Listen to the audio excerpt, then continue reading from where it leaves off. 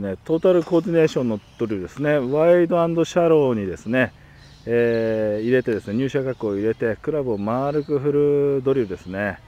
えーと、まずちょっと構えてみてください。右手1本で、はい、バックスイングしてみてください。出前持ちの形作りましょう。はい、いいですね。はい、この角度、この角度をですね、このまま引っ張ってしまうと絶対にこう溜まって、クラブが溜まって、えー、アウトサイドから降りてきやすいですね。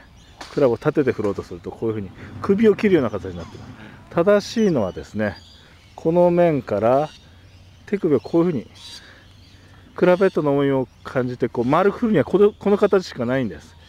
こうやって引っ張ったら丸くなんか振れません。こういうふうですね。手のひらを斜め上に向けたままこういう感じですね。それですとこういうふうに入ってきます。はい。これ分かりやすくやるのにはい。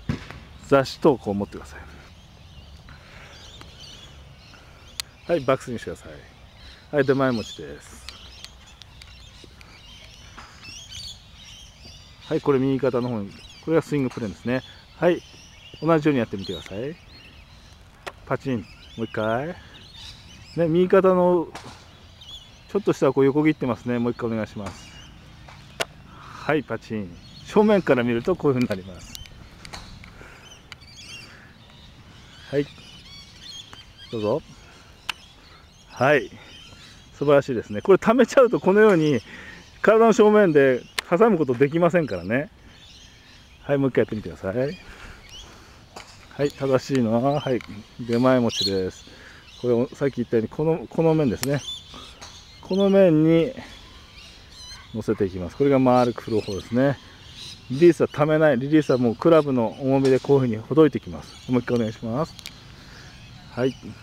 はいナイス。もう一回。はいぜひ皆さんもこのドリルやってみてください。で全て、えー、トータル的にですね入射角もより良くなりますし体の正面で捉えることもできるし、えー、オンプレンスにもなるということですね。ありがとうございました。